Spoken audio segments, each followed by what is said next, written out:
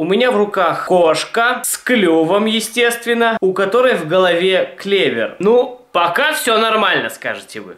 Согласен. Все очень логично, закономерно, вполне ожидаемо. Первое, что мне когда говорят, Эльдар, кошка с клювом, я сразу такой, ну, не знаю, клевер. Кстати, эта херня была собрана, когда э, я открыл яйцо, то есть меня даже лишили удовольствия. Тут просто нажимаешь, и херня и клевер в башке меняется, например, на зелененький.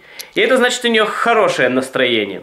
Нажимаешь еще раз, например, черненький, значит не очень хорошее очень большое черное хуевое, откровенно хуевое настроение. То есть, ну, кошка может, ну, не знаю, руку тебе сломать, там, ну, что-нибудь украсть дома у тебя, например. А, например, например, заяву на тебя накатать, ну, что ты ограбил ее. Ну, или, например, э, написать пару песен для Стаса Михайлова, которые обязательно станут популярными и будут звучать из каждой говнотачки, и не только говнотачки, на улице. И стоять у каждой учительницы русского языка на звонке. Или, например, хорошее настроение, два клевера и радуга. Или большой зеленый клевер, тоже очень хорошее настроение. И поэтому я хочу задать вполне рациональный вопрос – может быть, просто бить ребенка бутылкой по голове? Или, например, при нем всегда разговаривать на выдуманном языке, чтобы думал, что это настоящий язык и другого вообще не знал никакого. Может быть, какие-то тяжелые наркотики подмешивать ему в кашу? Чтобы ребенок с катушей слетел? Нет, не хотим. Мы будем заботиться о ребенке.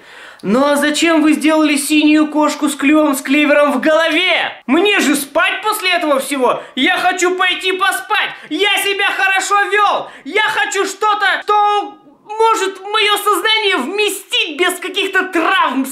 без потерь? Вы же трахаете меня в голову, просто дыру просверлили членом туда, членом, членом. Синяя кошка трахает мою голову. Дети же бухать начнут в пятом классе, ну серьезно. Некоторые, конечно, бухают, но это плохо. Дети в пятом классе будут с похмелья приходить и говорить, я вчера открыл киндер, а там Синяя кошка с клювом, с клевером в голове. Я нажался, просто нажался, наорал на родителей. Чувствую себя говном, да и плохо.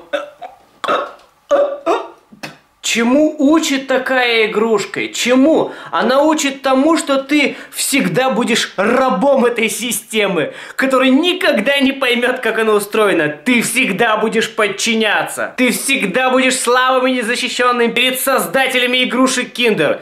Ждал чего-то хорошего? Кошку серую? Нет, держи синюю. С милой мордочкой? Нет, хер тебе, клюв. С маленьким мозгом в голове? Нет, клевер в голове. Пу! Эй, у нас закончились идеи, чего-нибудь еще тяжеленького. Или просто откройте в комнате баллон с веселящим газом, мы не можем придумать. Кошка синяя с клевером в голове, клюв, что-нибудь такое, давайте скорее. Я не говорю, что игрушки должны быть серые прямоугольники. Мягкие немножко, чтобы еще не причинить боль ребенку. Но это слишком. Да, она лает, скорее всего. Ну, знаете что, вот, например, кошка, да, но она клюв, и она синяя, сложно предположить, что она мяукает. Ну, стопудово не мяукает, точно. Ну, гавкает еще может быть. Кошки, собаки, да, они как-то близко рядом стоят в нашем понимании. Но и даже вряд ли гавкает, скорее всего, она, она как-то вот так делает. Куга, куга, люга, куга, куга, люга. Ну, точно же не мяукает. И еще тут на обратной стороне штучка, чтобы ее вешать на шее как кулон. Нахера это вешать как кулон? Чтобы не забывать, какой безумный мир вокруг тебя? Эй, парень, да что с тобой? Да вот что со мной. О, окей, чувак, ладно. Чтобы он висел у тебя всегда на шее поверх одежды, и люди думали, что родители тебя любят и дарят тебе игрушки, чтобы подчеркнуть дуализм всего нашего бытия. То есть, что родители любят тебя и дарят тебе игрушки, но эти игрушки несут с собой боль. Рок-н-ролл.